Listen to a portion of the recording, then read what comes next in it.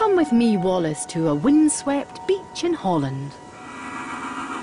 Because this is home to an incredible creature that only needs a slight breeze to spring into life. My name is Theo Jansen. We're here in Ypenburg in Holland, where I work every day. And here I try to make new forms of life, which keeps me busy 24 hours a day. And I want to put those out on the beaches where they can live in the future. And they don't have to eat because they get their energy from the wind.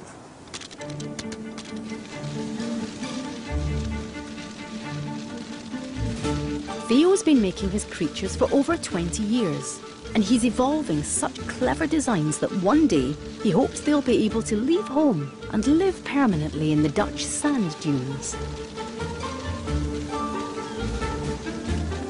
Incredibly, his animal-like creatures are only made from PVC. Getting them to walk smoothly was the first step, but his animals still needed their creator to get them going.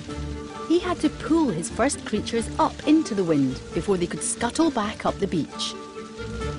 But Theo didn't want to always have to pull his offspring up the beach. So the next generation got a propeller. And then, to give them more running power, he borrowed nature's best wind design ever and gave them wings. Through hours of experimenting and trial and error, Theo's designs are becoming more and more independent. What I've found about this experience of making new forms of life is that you discover all the problems which the real creator must have had creating this world. These animals will survive on their own, just like you raise your children and then there comes a day that you can kick them out of the door and that they live their own lives. And hopefully at the end of my life they will survive a lot better than they do now. Then I could die quietly knowing that I will live on for the beaches, on the beaches.